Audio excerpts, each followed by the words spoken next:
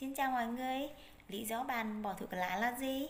Là vì cuộc sống tương lai của chính bạn. Thuốc lá chỉ là một chất xúc tác xua tan cơn buồn bực, tiêu đi cơn sầu buồn vì áp lực hàng ngày.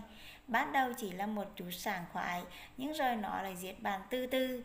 Má lực của khói trắng bắt bạn phụ thuộc vào nó các chất độc xâm chiếm lấy cơ thể lén lỏi qua từng tế bào tan phá cơ thể bạn ngoài ra nó còn mang đến hiểm họa cho những người quanh bạn nữa và bạn đã bao giờ nghĩ phải chi trả bao nhiêu tiền thuốc lá cho 365 ngày trong một năm của bạn chứ ạ?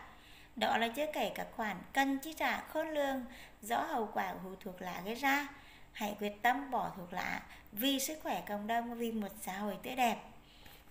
Nước xúc miệng, cái thuốc lá thái nghỉ sẽ đồng hành cùng bạn dứt điểm trong vòng 5 đến 7 ngày và không mệt mỏi bạn nhé. Xin chúc bạn thành công. Nếu như bạn đang là người trực tiếp hút thuốc lá hoặc trong gia đình có người thân hút thuốc thì đây là bài thuốc cai thuốc lá rất bổ ích giúp bạn hoặc người thân của mình có thể trị dứt điểm cai thuốc lá thành công chỉ sau 5 đến 7 ngày.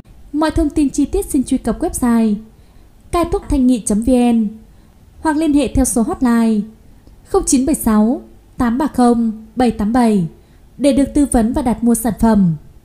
Nước xúc miệng cai thuốc lá thành nghị, khắc tinh của thuốc lá, mang niềm vui đến mọi nhà.